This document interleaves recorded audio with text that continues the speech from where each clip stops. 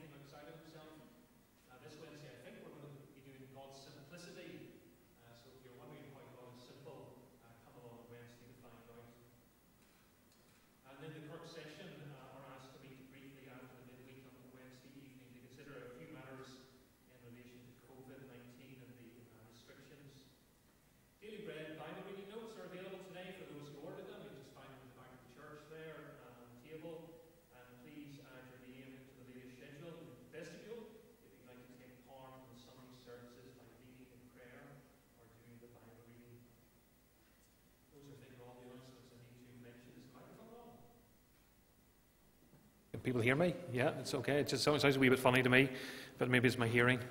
Um, we're here to worship God, and in Psalm 105 it says, Oh, give thanks to the Lord, call upon his name, make known his deeds among the peoples, sing to him, sing praises to him, tell of all his wondrous works, glory in his holy name. Let the hearts of those who seek the Lord rejoice. Let's give thanks to the Lord uh, together by standing to sing part of Psalm 31 In you I've taken refuge, Lord.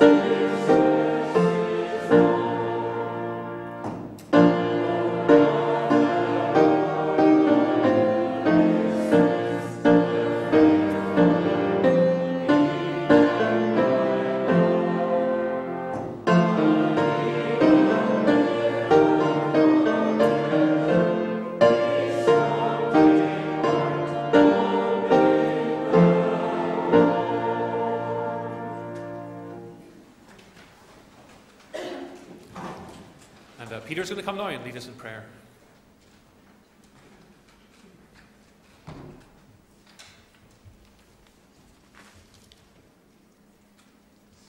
Let us pray.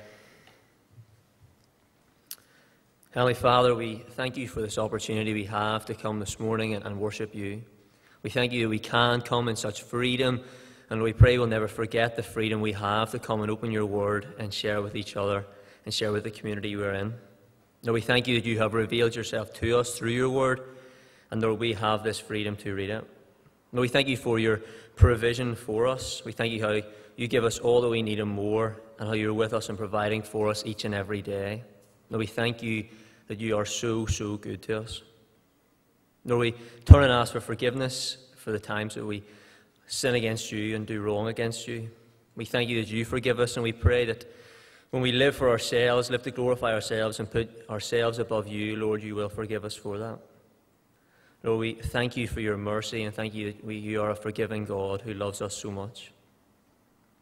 Lord, we pray this week ahead you will give us strength to fight against sin and live for you.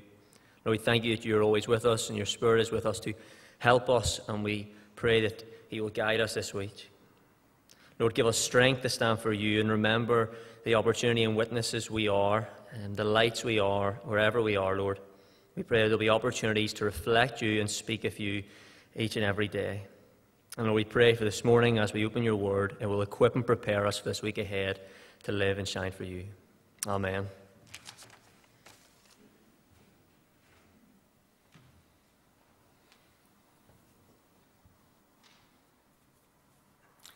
And having confessed our sins, hear the good news from Jeremiah 33, where it says, or God promises, I will cleanse them from all the guilt of their sin against me, and I will forgive all the guilt of their sin and rebellion against me.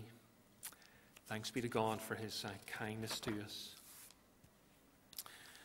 So, again, I've got some uh, pictures for the, the boys and girls and for uh, everyone else, of course. Uh, you can look on as well. Uh, I hope no one's uh, frightened of uh, creepy crawlies because we've got a few creepy crawlies. Uh, first of all, ladybird. I don't think anybody's afraid of ladybirds, are they?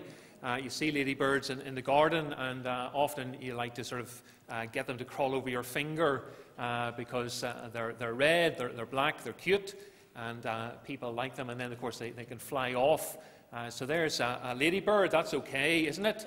Um, then after that, what have we got? Uh, we've got, do you know what this is? This is, uh, this is an ant. Uh, so an ant um, that you'll maybe find in the garden, uh, or sometimes so often when you go on holiday, you, have lots of ants. I remember being on holiday and uh, the ants came into the apartment.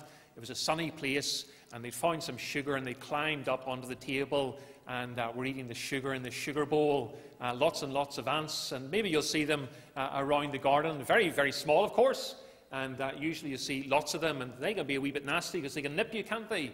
And uh, it's a wee bit sore if they nip you. So, what else do we have? Uh, do you know what this is?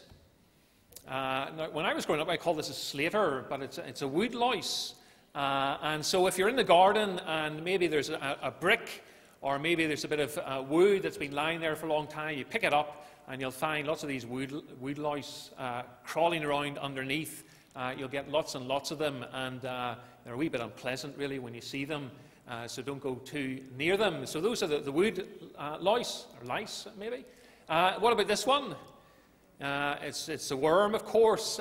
so it looks a bit disgusting, doesn't it? You know, a sort of a wet, slimy worm that you'd see in the ground. Uh, they uh, sometimes pop up from the soil or the, uh, the, the, grass, and you can see them, but again, they're not very pleasant. Uh, what else do we have? Okay, do you know what this is? Uh, the boys and girls, maybe your, your parents, if your par- parents are keen gardeners, you might hear them complaining about this. It's greenfly. Uh, greenfly, and they're a bit nasty because they, they will eat your, your plants and so people don't like them and they try and uh, kill them, maybe with some um, uh, poison or something like that. They'll spray their plants to kill the green fly, otherwise, they'll, they'll eat the, the plants. So that's a green fly.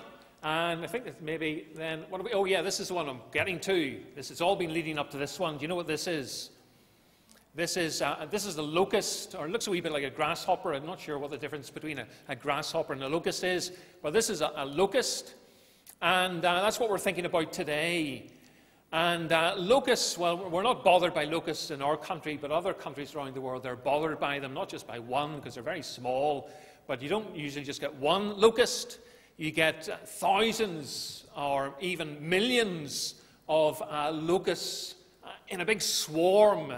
And uh, I was reading about one, and uh, it said this swarm of locusts was 37 miles long and 25 miles wide. Not meters, but miles. This huge swarm of locusts, thousands and thousands, millions and millions of them.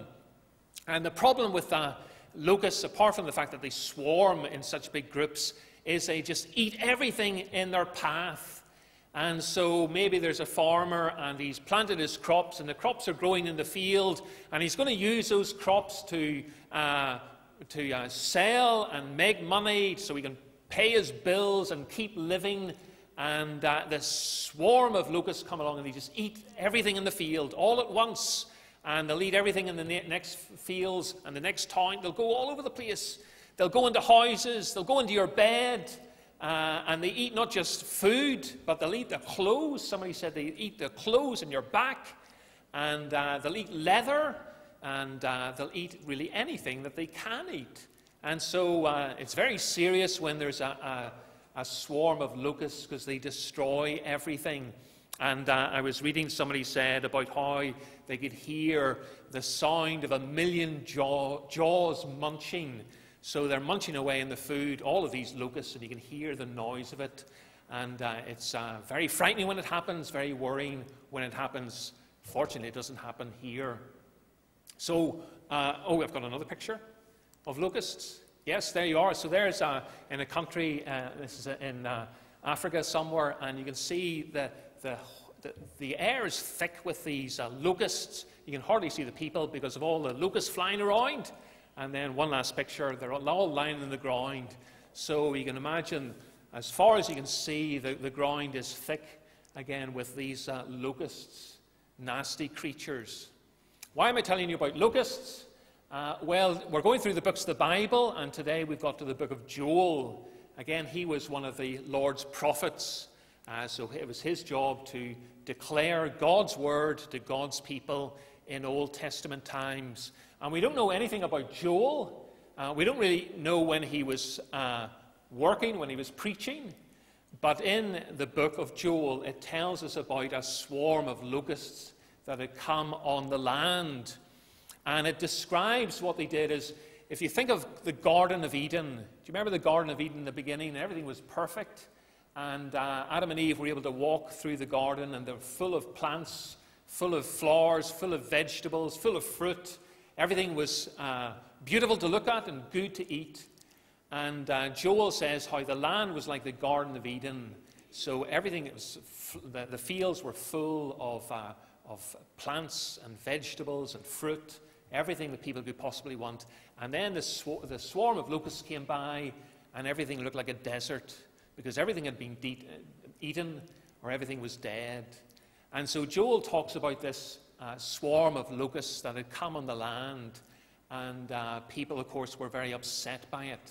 And then Joel said to the people, Well, you know, uh, unless you repent, in other words, unless you turn back to God, give up your sins and turn back to God, something even worse is going to happen to you. So you think the swarm of locusts was bad? Well, something even worse is going to happen unless you turn back to God and start to obey Him and worship Him the way that you should. And so the book of Joel reminds us that God is, He's holy. We talk about God being holy because He hates sin and uh, He punishes sinners for all that we've done wrong. But Joel also reminds us that God is, is gracious and good because he says to his people, Come back to me, come back to me. Uh, maybe you see people, boys and girls, maybe you see somebody in school that you're maybe afraid of. Maybe there's a teacher or the headmaster and you're a wee bit scared of them. Or maybe, you know, you see a policeman or something, you're a wee bit nervous of them. Well, uh, God says, Come back to me, and you don't need to be uh, worried because I'm full of love and I'm willing to forgive you all that you've done wrong. So come back to me. And then God also said to the people through the prophet Joel, Everyone who calls on the name of the Lord will be saved. So disaster is going to come, but everyone who calls on the name of the Lord will be saved. And what he means is we're meant to call on the Lord God. That's what uh, all of us are to do.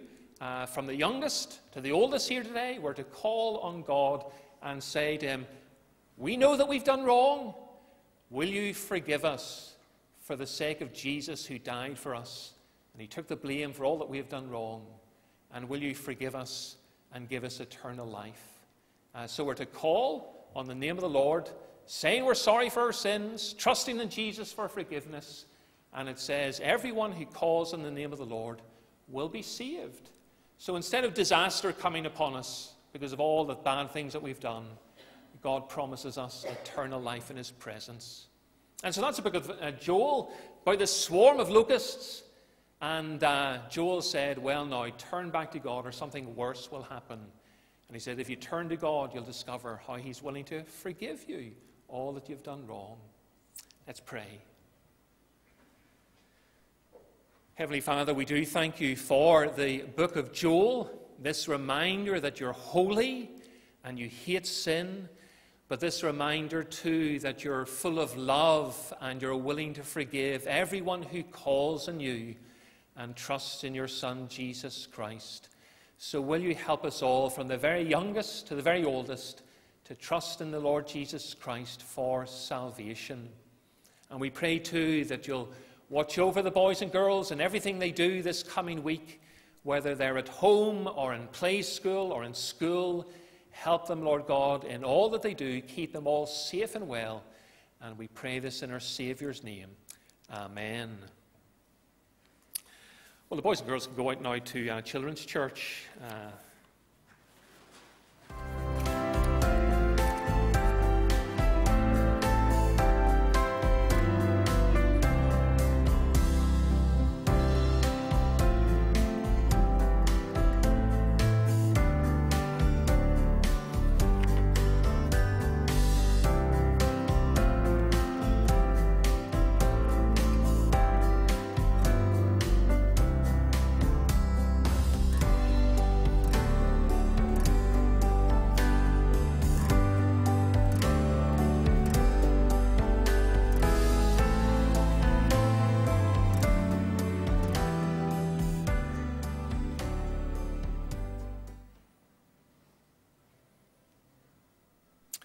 And uh, Derek's going to come now and read to us from uh, 1 Timothy chapter 1.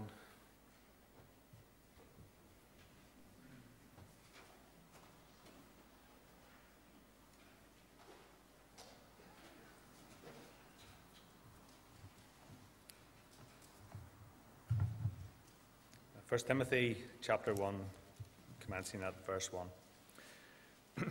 Paul, an apostle of Christ Jesus, by the command of God our Saviour, and of Christ Jesus our hope. To Timothy, my true son in the faith, grace, mercy, and peace from God the Father and Christ Jesus our Lord.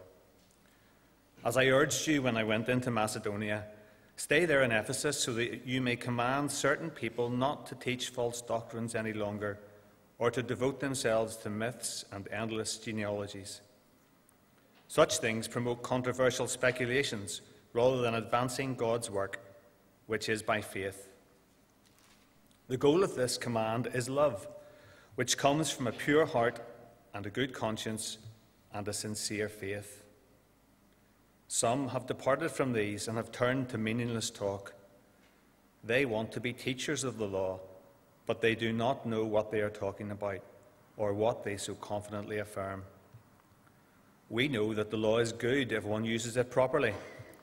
We also know that the law is made not for the righteous, but for the lawbreakers and rebels, the ungodly and sinful, the unholy and irreligious, for those who kill their fathers and mothers, for murderers, for the sexually immoral, for those practicing homosexuality, for slave traders and liars and perjurers, and for whatever else is contrary to the sound doctrine that conforms to the gospel concerning the glory of the blessed God, which he entrusted to me.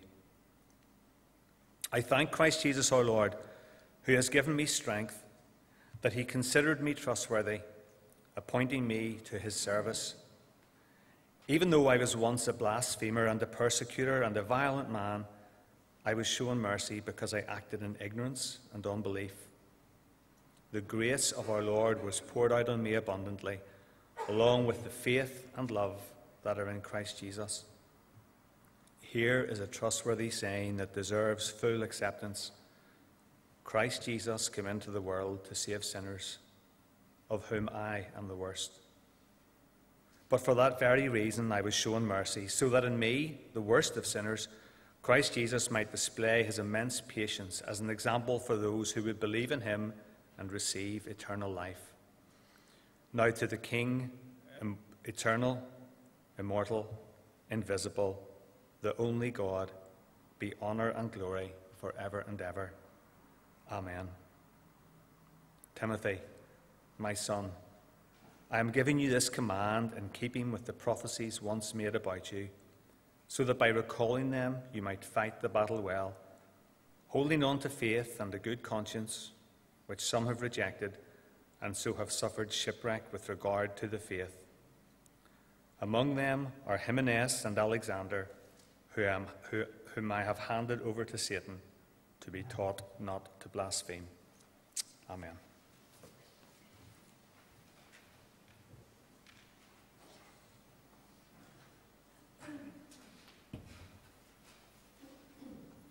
Let's pray for a moment. Now may the words of my mouth and the thoughts of all our hearts be pleasing in your sight, O Lord, our rock and our redeemer. Amen. So, we're uh, beginning a, a new series of sermons uh, this morning. As I say, we're, we're starting a new series of sermons uh, this evening as well, but uh, also in this morning. And uh, we're going through, hopefully, the plan is the, the pastoral letters. Uh, the pastoral letters comprise Paul's first and second letter to Timothy, and then his letter to Titus. Uh, all three of these letters are fairly short, uh, so we might go through all three of them, uh, one after the other, or uh, who knows, I might take a break before we get to the end. We'll just have to see how we get on. The pastoral letters uh, there are different from Paul's other letters because whereas his other letters were written to churches, uh, so to the church in Rome, to the church in Ephesus, uh, to the church in Gal- or the churches in Galatia. Um, uh, the pastoral letters uh, they are written to single people, uh, to Timothy, who was in Ephesus, and to Titus, who was in Crete. Uh, from verse 3 of 1 Timothy 1, you'll see that Paul left Timothy in, Ti- sorry, in Ephesus to oversee uh, the work there while Paul moved on to Macedonia. And from verse 5 of Titus 1, you'll see that Paul left Titus in Crete to oversee the work on that island. Uh, this, of course, all happened uh, after the end of the book of Acts. Uh, so the book of Acts ends with uh, Paul in prison in Rome. However, he was later released and he was able to continue his itinerant ministry, going from place to place to plant new churches and to strengthen churches he had already planted. And uh, it seems that he took Timothy and Titus with him. But he left Titus in Crete and he left Timothy in Ephesus. And now uh, Paul is writing to them uh, to instruct them on what they're to do, uh, what they're to teach, and he wants to encourage them in their work as they minister to God's people. In terms of um, background, you can read about Timothy in Acts 16, where we're told that he was already a disciple uh, when Paul first met him. Uh, his father was a, a Greek, uh, his mother, a Jewish mother, she was a believer, and uh, the other believers who knew him spoke well of him to Paul, and so Paul decided to take him along with him on his missionary journeys. And uh, his name appears in most of Paul's other letters as one of his co workers in the ministry. Titus doesn't appear in the book of Acts, but his name pops up in, in Paul's letters, again, as one of his co workers. So, as we turn now to the uh, first chapter, you'll see that it opens in a, in a similar way to uh, Paul's letters. Uh, first Paul introduces himself. This is what he always does. This was the custom when people wrote letters in those days. And he introduces himself as an apostle of Christ Jesus by the command of God, our Savior, and of Christ Jesus, our hope. So, an apostle, of course, was someone who had seen the risen Lord Jesus and who had been appointed by the Lord to be uh, an official eyewitness of the resurrection. And Paul had seen the risen Lord Jesus when the Lord appeared to him on the road to Damascus and appointed him to be an apostle. Paul refers to God the Father as our Savior because he saves his people from the coming wrath by his Son. And he refers to the Lord Jesus as our hope because through faith in the Lord Jesus Christ we receive the hope of the resurrection and everlasting life in God's presence. And then Paul addresses the recipient of the letter, who is Timothy, my true son in the faith. And that speaks to us of Paul's affection for Timothy because he loves Timothy just as a father loves his son. But of course, in those days, a son was often his father's apprentice in the family business. And uh, Timothy has been learning from Paul about what it means to be a minister of the gospel. And then uh, Paul greets Timothy with the words grace, mercy, and peace from God the Father and Christ Jesus our Lord.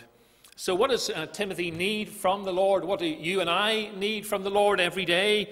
Well, we need grace, mercy, and peace. We need His grace because we're sinners. We need His mercy because of our misery and our weakness. And because God is gracious and merciful, willing to pardon our sins, willing to help us every day, then we have peace. That sense that all will be well. All will be well because we can trust in God our Father to work all things together for our good. So that's the opening of the letter. And then we come to the remainder of the chapter. And I think we need to take the, the remainder of the chapter together. Other preachers tend to divide it up into different sections, but I think we need to take it together because the rest of the chapter belongs together, as I hope you'll see. Uh, so in verse 3, Paul uh, refers to the time when he was leaving Ephesus to go to Macedonia, and he wanted Timothy to remain behind in Ephesus. And he wanted Timothy to remain behind in order to command certain men not to teach false doctrines any longer, nor to devote themselves to myths and uh, endless genealogies which only promote controversies. Well, last uh, Sunday evening we finished uh, a series of sermons on 2 Corinthians in which uh, Paul was warning the believers in Corinth about false teachers who were preaching a false gospel. So in Corinth, there was trouble in the church because of false teaching. And here in Ephesus, there was trouble in the church because of false teaching. Ever since the serpent deceived Eve in the Garden of Eden, the devil has been trying to confuse God's people and to lead us astray through false teachers and through false doctrine. So sometimes people complain that uh, doctrine is, uh, is dry and boring, and why do we need to bother with doctrine? Because it's so hard to understand. But we need to know uh, what the true doctrine is about God and about our salvation. Otherwise, we'll be taken in by false teachers and by false doctrine, and there's plenty of it around the world. We don't really know what the uh, false teachers in Ephesus were teaching, but since Paul refers to myths and genealogies, uh, some commentators think that they used myths and legends and made up stories about people whose names appear in the Old Testament genealogies, you know, the list of names that you find there from time to time. And when Paul uh, refers to endless genealogies, he might be saying that the false teachers were just going on and on and on and on about these things. But what they're teaching doesn't promote the peace and well being of the church because their false doctrine only leads to controversy. Do you see that in verse 4 if you've got your Bible open. And then if you jump down to verse 6, uh, you'll see that Paul refers to meaningless talk. Meaningless talk. So that's what he thinks of what they were saying. And of course, uh, we still come across this kind of thing, uh, don't we? Every few years, uh, there'll be some new book in which the author claims to be an expert in the Bible, and the author has discovered some new teaching, some new insight which uh, no one else has ever discovered before. But now this author wants to reveal it to the world. Uh, or the author will apply the Bible in a, in a whole new way. He'll think of some kind of application which no one has ever thought of before. So I was listening to another preacher who was preaching on this passage, and he reminded me of uh, the book, The Prayer of Jabez. Uh, do you remember that? Uh, it was uh, published a few years ago. This is what Amazon says about that book, which was, as I say, published a few years ago. Amazon says The life of Jabez, one of the Bible's most overlooked heroes of the faith, bursts from unbroken pages of genealogies in an, in an audacious four part prayer that brings him an extraordinary measure of divine favor, anointing, and protection. It's not interesting. It refers to genealogies and to an overlooked, obscure person from the Old Testament. And the author has learned this secret which he wants to teach you if you'll only buy his book. Uh, this preacher I was listening to also mentioned uh, uh, a book that he saw once about dieting God's way. Uh, and uh, books about secret codes that are hidden in the scriptures, and yet the authors managed to discover them and can explain them. And so this happens in every generation, and it was happening in Ephesus in the days of Paul and Timothy. And Paul says in verse 7 that these false teachers wanted to be uh, teachers of the law. So that was their, their expertise, uh, that was their area of interest. And that's what they majored on. Uh, but look at verse 7. Paul says, Paul says, they don't know what they're talking about. They want to be experts in the law, but they don't know what they're talking about. They come across as confident, uh, self assured teachers, but they don't know what they're talking about. And Paul goes on to explain uh, that the law is good uh, if one uses it properly. And of course, that suggests, doesn't it, that the false preachers were not using it properly. So, how should the law of God be used? Well, Paul explains that it's not for the righteous, that is, it's not for believers. So, who's it for? Well, Paul tells us it's for lawbreakers and rebels, those who break God's law and rebel against his rule over us.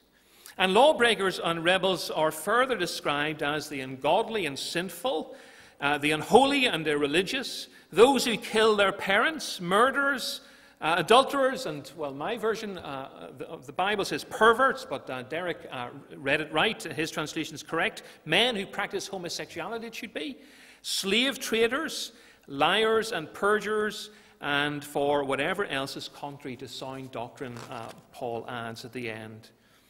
Uh, some of the commentators think Paul's list echoes most of the Ten Commandments.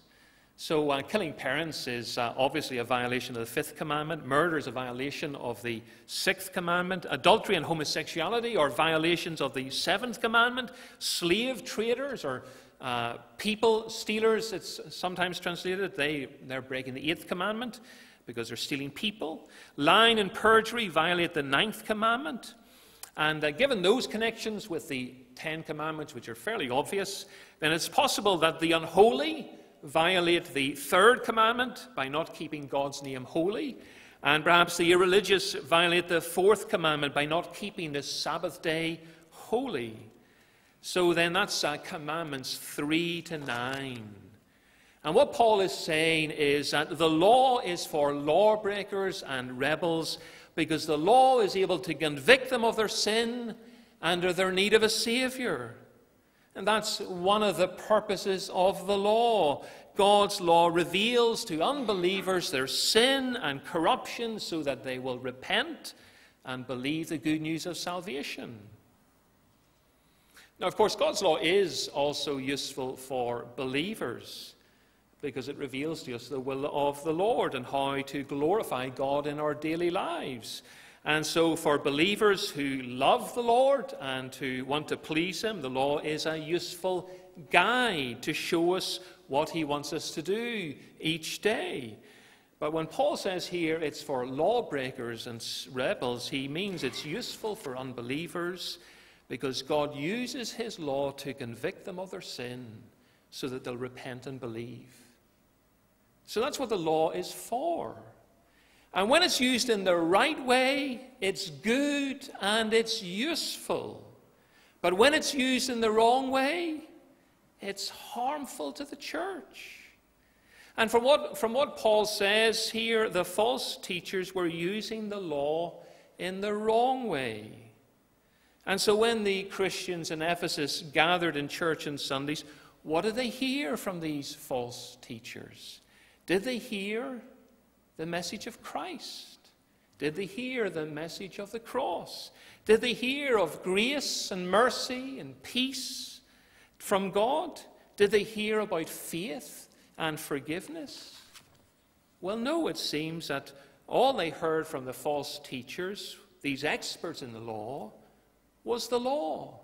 Law, law, and more law. Do this, do that, don't do that, do this. That's they heard from these experts in the law. And you see, as another preacher uh, puts it, the issue was this. The issue was this. Do you want a law based church or a gospel based church? Do you want a church where the emphasis is on the law and on keeping the law and on all the things you have to do for God? Or do you want a church where the emphasis is on the gospel and on what God has done for us by His Son? When you come to church on Sundays, what do you need to hear most of all? The law alone and a list of things you have to do? Or do you want to hear the gospel and to be reminded all over again that your sins have been pardoned because of Christ who died for you, so that despite your sins and your shortcomings, you have peace with God. Do you know what's wrong with a law based uh, church and a law based uh, message? Tim Keller, an American minister, he's very good at explaining this. He says it either leads to pride or it leads to despair. A law based uh, message leads either to pride or to despair. It leads to pride because uh, we're pleased with ourselves because of all the things that we have done right. So think of the, the parable of the Pharisee who went to the temple to pray, but uh, in his prayer, uh, what did he do? Well, he boasted about his righteousness. And we can become proud because we're pleased with ourselves, because of all that we have done.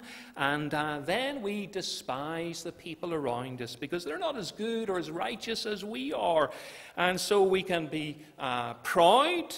And uh, then we start to criticize the people around us and we find fault with them because they're not as good as the rest of us. I've kept the law. I've done what I'm supposed to do. Whereas all those other people, they break the law all of the time. And so a law based message uh, leads to pride, or it can lead to despair. It leads to despair because if I believe that I have to climb up to God by my own good deeds, then I'm never too sure whether I've done enough. And when I sin, as I surely will because I'm a sinner, then that means I have fallen further away from God rather than come closer to Him. And so it leads to despair because I know I'm not good enough and I don't think I've done enough. And therefore, there's no hope for me if my salvation depends upon me and my good deeds. That's what a law based church and a law based message leads to. It either leads to pride or leads to despair. And so it's little wonder that Paul urges Timothy to command the false teachers to stop what they're doing. And instead of having a law based church with a law based message, we want a gospel based church and a gospel based message. And so, so Paul goes on to write about the gospel in verses 12 to 17. And his explanation of the gospel begins with thanksgiving. It begins with thanksgiving because whereas the law is about what I must do for God, the gospel is about what He has done for me. And it's about the salvation I receive from faith, through faith. And so Paul gives thanks to the Lord uh, who appointed Paul to his service and who has uh, given Paul the strength he needed uh, to serve the Lord. And of course, you know the story, don't you? Uh, Paul, who was known as Saul in, uh, in those, those days, uh, he was on the road to Damascus because he was going there to arrest the Christians in that city. Uh, but then on the way, the risen and exalted Lord Jesus appeared to him, and his life was changed. Uh, Saul, the great persecutor of the faith, became Paul, the great preacher of the faith. And this was such a gracious thing for Christ to do for Paul because Paul knew now that he was a sinner in those days who deserved nothing but condemnation and wrath. He says in verse 13 that he was a blasphemer and a persecutor and a violent man, or perhaps it should be proud man or insolent man. Uh, so he was once very proud of himself and his own righteousness. He used to persecute the church of Jesus Christ. And he was a blasphemer because he once despised the name of the Lord Jesus Christ. That's what he once was, but he was shown mercy. The Lord was prepared to forgive him for all that he had done wrong when he was ignorant about the truth about Jesus Christ and when he was still an unbeliever. And though he deserved to be condemned and punished for his wickedness, the grace of the Lord Jesus was poured out upon him abundantly. So he's, uh, he's conveying to us the sheer abundance, the superabundance of Christ's kindness to him.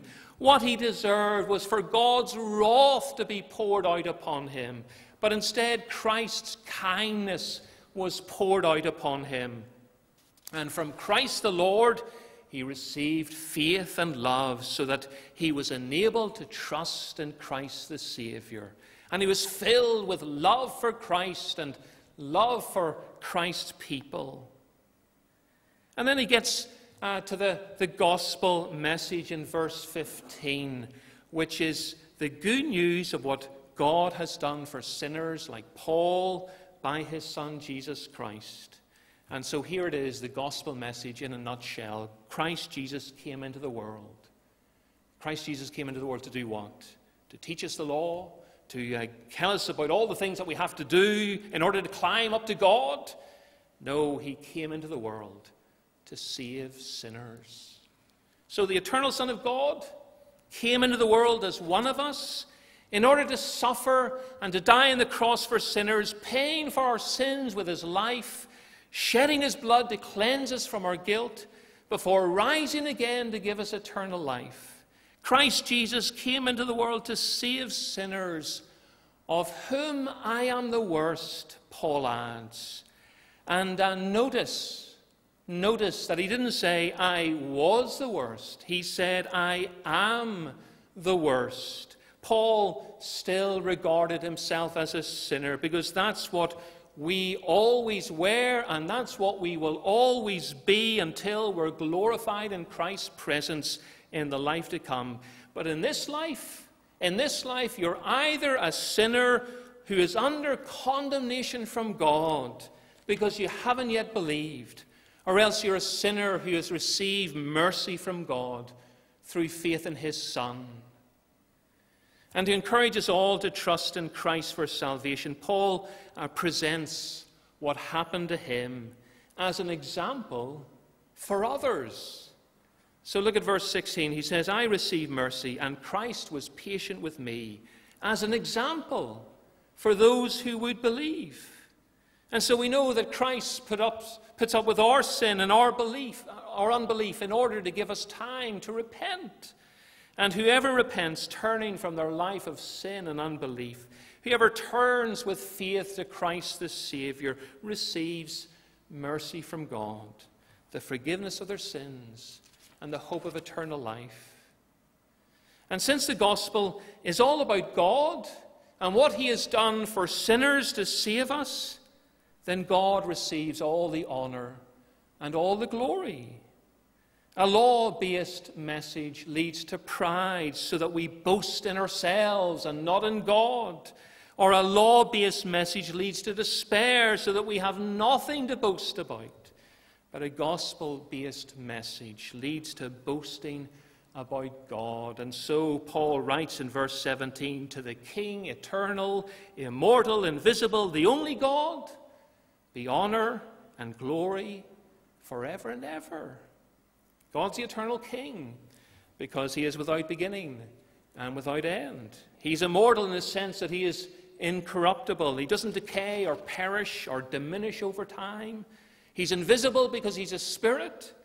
And he's the only God because whatever other gods are worshipped are only idols who can do nothing. But he's the only God who made us, who sustains us, and who saves us by his Son. And he deserves the honor and the glory because of what he has done for sinners. And so, when we come to a, gospel based church and when we believe the gospel based message and trust in Christ to save us from the condemnation we deserve, then we'll want to give thanks to the Lord God. And so says Paul at the end I've given you this instruction, Timothy. I've given you this instruction. I've instructed you to command the false teachers to stop teaching their law based message. And he reminds Timothy that as a minister of the gospel, he must fight the good fight, which means he must defend the gospel in the face of unbelief and opposition. Fight the good fight by holding on to faith and to a good conscience. So Paul, uh, Timothy's to watch what he believes, and he's to watch what he does. Because if he stops believing, or if he ends up with a guilty conscience because of something he's done wrong, then he'll become like these two men mentioned here who were among those who shipwrecked their faith. So keep believing, Timothy. Keep your conscience uh, clear, clean and clear, and defend the gospel message of Jesus Christ. And so when you come to church, uh, you'll hear the gospel. You'll hear the gospel. You'll also hear the law because those who believe the, the gospel uh, want to obey the law out of gratitude to God for all that He has done for us. But the law must never take over. The law must never take over, and the gospel message must always take precedence. Because by hearing and believing the gospel, you're saved from condemnation and you receive eternal life. And by hearing and believing the gospel, you'll be kept from pride because you'll, you'll see that you're only a sinner saved by grace. And you'll be kept from despair because you'll see that God is able to save even the worst sinner by his Son. And no matter what you have done wrong in this life, no matter uh, how large your sins are or how many they are, your sin is covered over with the blood of the Lord Jesus Christ.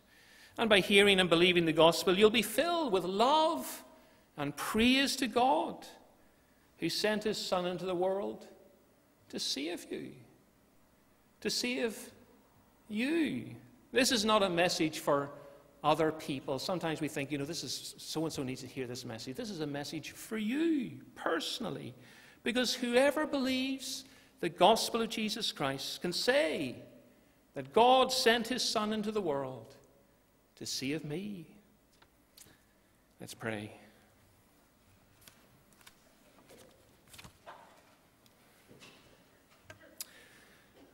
Heavenly Father, we do thank you for the gospel of Jesus Christ and how you sent your Son into the world to save sinners.